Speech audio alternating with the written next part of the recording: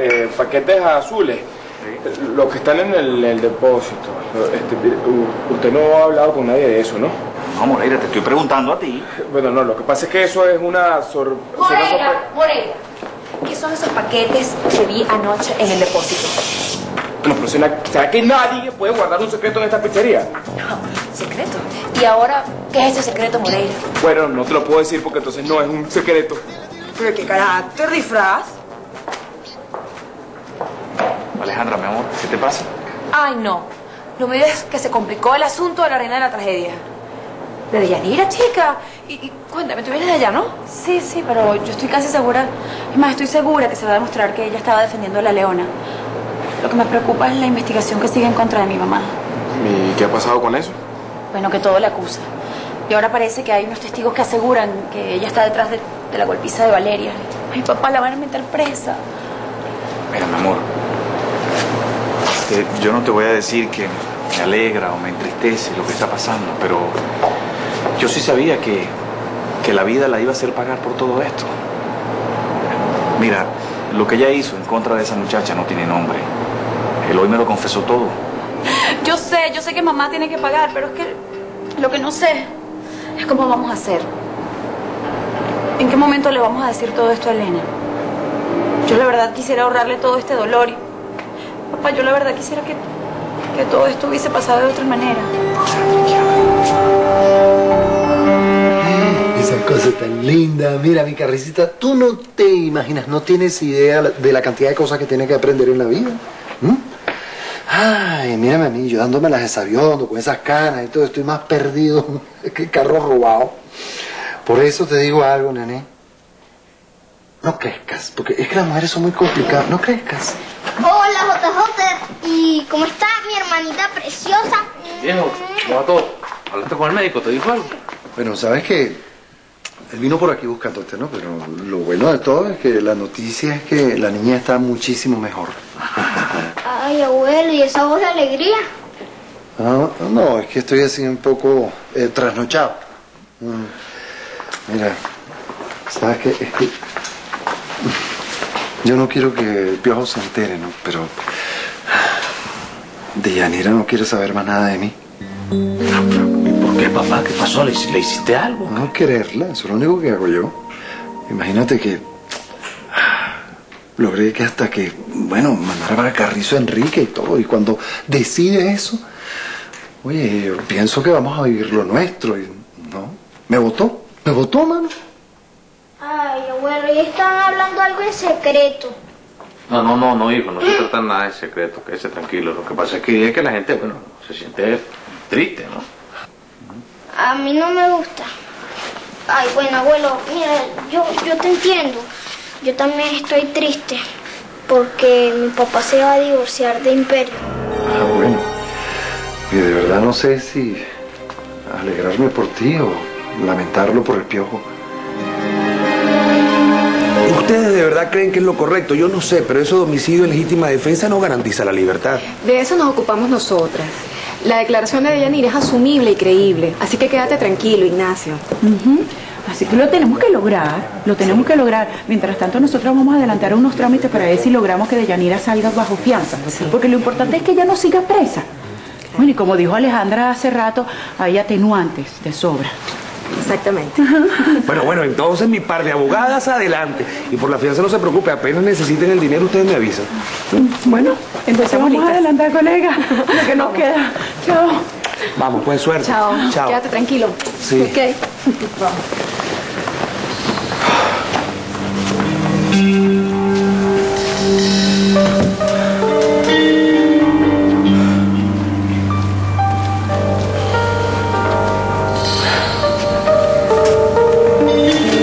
mi viejita linda.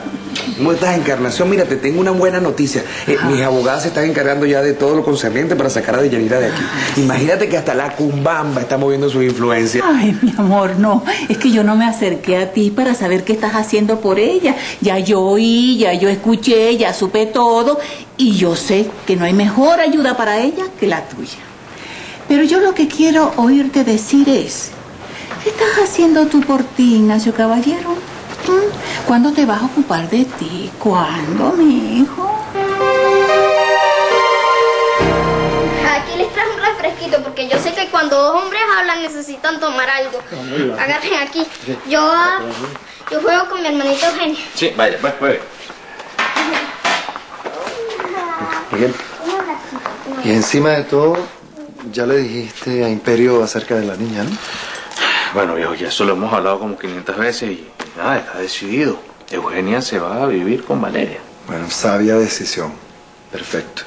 Sobre todo después que el Piojo y yo ah, encontramos por fin el encargo de Calixto. Ah, bueno, sí, entre tantas cosas no he podido hablar de eso con Daniel. Pero, ¿qué, qué pasó? Bueno, pasó que Calixto escondió unos exámenes acerca de unas pruebas de ADN. Bueno, lo cierto es que está confirmado. Imperio Laya y Valeria son madre e hija. Confirmado. Cuando hay dudas. De ningún tipo. Me temo que entre lo de la niña y tu decisión del divorcio logres nada más que un gran odio de Imperio hacia su propia hija. Buena, buena. ¿Y cómo está mi paciente consentida? ¿Mm? Hola. Miguel, te traigo buenas noticias. Mañana mismo puedes llevarte a Eugenia. Le voy a dar de alta. ¡Eso, por fin, hermanito, por fin! Necesito hablar con Imperio. Y no me voy de aquí hasta que la busques, Berenice. Es que usted no entiende, señora. Hoy no es conveniente que se vean las caras. A mí me parece que es el mejor momento, Berenice. Y tú y yo hablamos, así que retírate.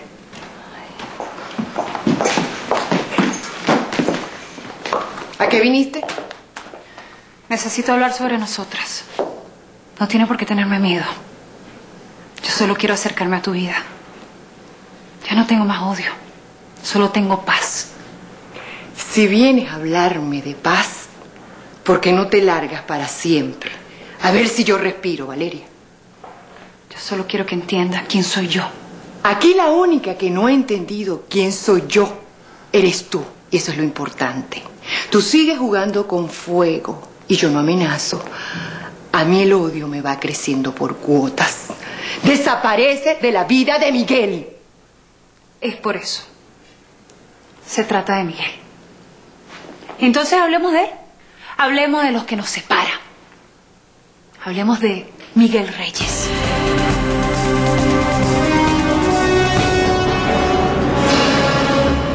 En mi segundo intento voy a ser mejor.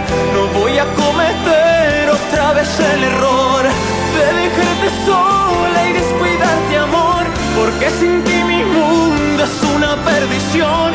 En mi segundo intento de tanta dicha que no vas a recordar.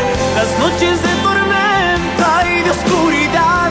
Y es que te voy a dar amor y amor de más. Vea este martes Toda una Dama. Miguel era mi única esperanza. No hables de Miguel. Miguel no existe. No lo repitas. Yo entiendo cómo usted se siente.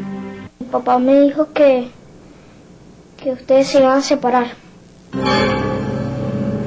¿Tu papá te dijo eso? Sí, él me dijo que tú la haces sentir mal.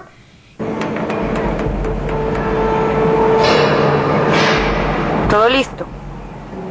No quiero errores.